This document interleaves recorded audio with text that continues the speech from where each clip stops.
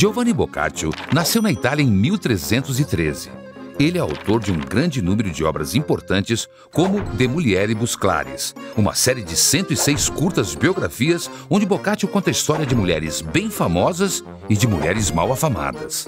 Mas foi o Decameron que transformou Boccaccio no primeiro grande realista da literatura universal. Trata-se de uma coleção de 100 histórias irreverentes e satíricas em que ele retratou os costumes da sociedade de Florença, o livro se passa na época da peste negra e mostra o período de transição vivido na Europa com o fim da Idade Média e o começo do Renascimento. Os contos de Boccaccio foram um ponto de partida para muitos artistas, que transformaram suas histórias em quadros, peças, filmes, romances e novos contos. O Decameron se espalhou mais do que a peste negra.